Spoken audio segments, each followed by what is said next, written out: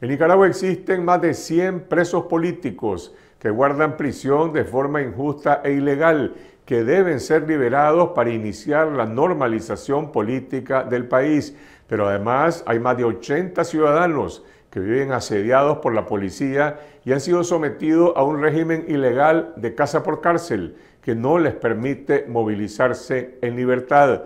Entre ellos están al menos cuatro de los aspirantes a una candidatura para unificar el liderazgo de la oposición, como Félix Maradiaga, Juan Sebastián Chamorro, Medardo Mairena y Miguel Mora, cuyos derechos políticos elementales han sido conculcados de antemano por el régimen en un año electoral.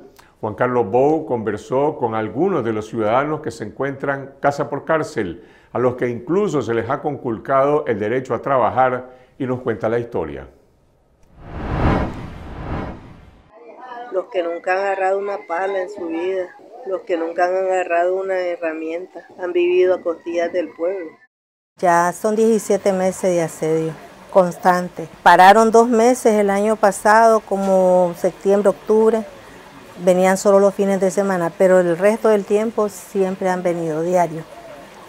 Antes venían de las 6 de la mañana hasta las 6 de la tarde, pero hoy vienen de madrugada.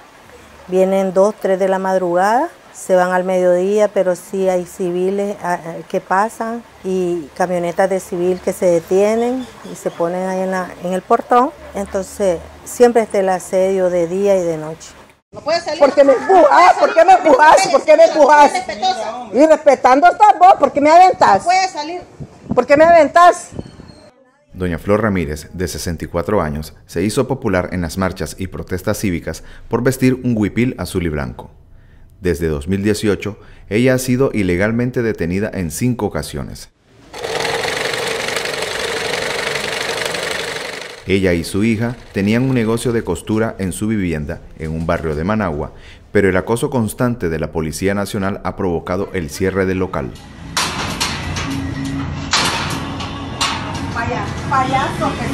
Ya con el asedio de la, de la policía dejó de venir la clientela porque siempre estaba la policía ahí al frente y tomaban nota de o, tomaban datos de, la placa de motocicletas, de, vehículos particulares que venían a, hacer sus trabajos. Perseguían a las personas, detenían a las personas, les quitaban la, licencia. Si ven que salen con mochila o, están con, o vienen con una mochila, le registran.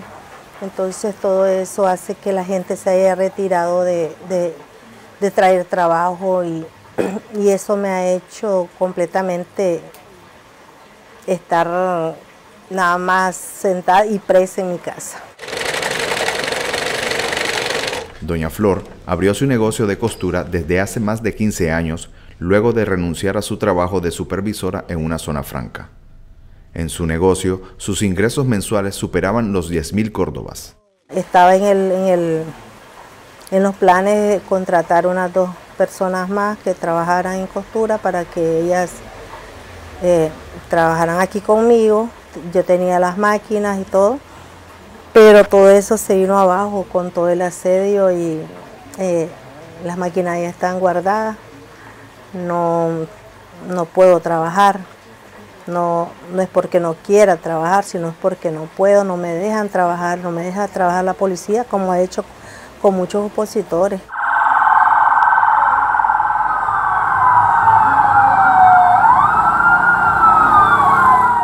Según el monitoreo de la Unidad Nacional y la Alianza Cívica, unas 80 personas están sometidas al régimen ilegal de cárcel de facto. Pueblo de Nicaragua, esto es lo que hace la policía, no sé con qué planes, con qué órdenes. Geraldine Jarquín es una de esas personas. Ella vive presa en su vivienda en Boaco, lo que le impide trabajar en su negocio de catering. La época navideña para nosotros es la más grande porque es la más significativa en cuestión de ganancias. Sin embargo, este año no tuve ninguno, ningún evento que atender y las comidas que hago en casa eh, que son como nosotros les decimos para llevar y que las personas se atiendan en sus lugares, eh, fue completamente de un 100% que atendí el año, el año 2019, en el, en el 2020 atendí prácticamente un 30% de los encargos que tenía. Esto prácticamente debilita mi economía, debilita mi entorno familiar. Geraldine calcula que en diciembre pasado dejó de percibir al menos unos 20.000 córdobas en comparación con diciembre de 2019. La opositora ha soportado el acoso policial junto a sus hijos en su casa. Hubo un momento en que vinieron y los contabilizamos 58 oficiales de la policía a esta cuadra frente a mi casa. Eh, a veces cierran con los conos de tránsito y no puede pasar absolutamente nadie.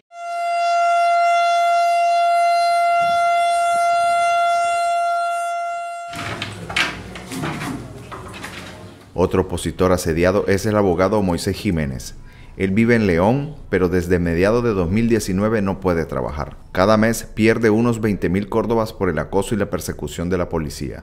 Estoy pasando una situación económicamente bien difícil, ya que la política de la dictadura ya es, como dicen, el, asedio, persecución y la eliminación de todos los derechos constitucionales, como es la, atención en las instituciones del Estado. Mi especialidad es lo que es el derecho registral.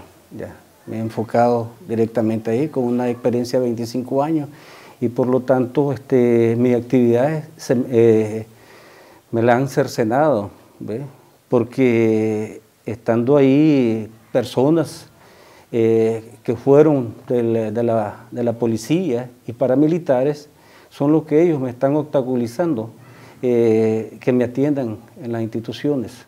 Jiménez ha tenido que dejar su vivienda en el barrio Sutiaba de León para evitar caer preso. He estado en, varias casas de seguridad ya que ellos, eh, hace dos meses, ellos entraron a la, casa donde viven mis hijos, sin orden judicial, violentando todos los procedimientos y el que llegó fue el comisionado Bermúdez, que es el jefe de, narcóticos, preguntando por mí. El temor mío es que me capturen y el procedimiento que están haciendo ellos es eh, inventar el delito de deportación de drogas, de tráfico de drogas y tráfico de armas, porque eso fue lo que expresó el comisionado Bermúdez a todos mis hijos. Jiménez estuvo preso ilegalmente unos cinco meses en 2019, luego de ser detenido a la salida de la alcaldía municipal de León en enero de ese año. En 2006, el ahora opositor formó parte del tendido electoral del Frente Sandinista en elecciones que llevaron a Daniel Ortega de nuevo al poder en 2007. A mí me tuvieron completamente secuestrado porque jamás, jamás eh, me presentaron ante un judicial. Yo no tengo ningún expediente donde compruebe de que yo fui presentado ante un judicial violentando el Código Penal, ya que expresa de que 48 después de, su detención tiene que presentar ante una autoridad judicial.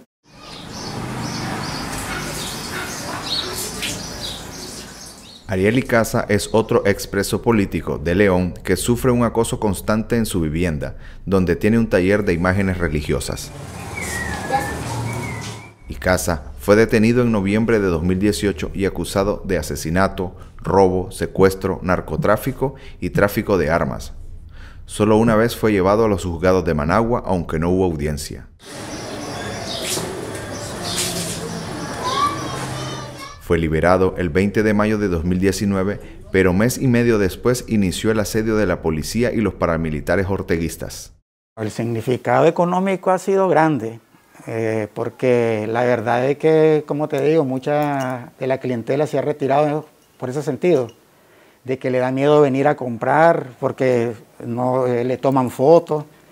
Este, y tienen el temor pues de que los involucren en algo de que, de que tal vez no ellos han participado en nada. Al no venir la, la clientela y, y, fijarse bien en todas las cosas que nosotros tenemos, todo el tipo de imágenes que hay, este, no podemos promocionar mucho la, venta de esa, de esa imagen, de esa figura.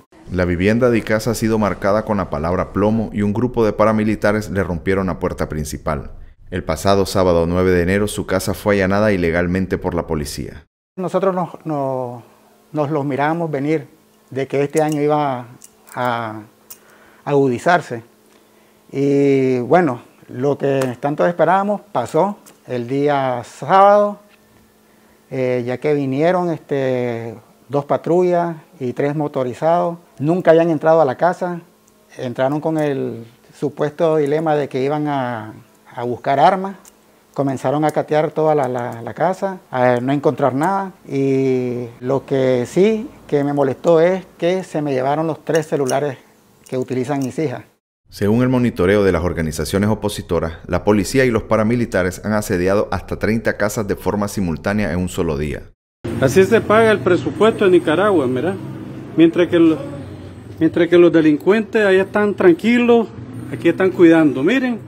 52 de los opositores acosados en su vivienda se identifican como miembros de la Unidad Nacional Azul y Blanco, mientras los miembros de la Alianza Cívica reportan entre 12 y 15 asedios y persecuciones policiales diarias que sigan asediando porque el pueblo no les tiene miedo. Creo que debemos aguantar y tratar de alguna u otra manera salir adelante, porque nosotros siempre hemos demostrado que somos un pueblo de lucha, un, un, pueblo que de una u otra manera sale adelante y eso es lo que nosotros debemos transmitir, que a pesar de que la policía esté ahí afuera de mi casa, yo siempre voy a seguir adelante y ni yo ni mi familia con el poder de Dios vamos a morirnos de hambre. Eso no me lo van a quitar ni con el asedio que me hagan, porque siempre seguimos firmes. Gracias a Dios tengo una familia que me respalda e igual están siempre en la lucha.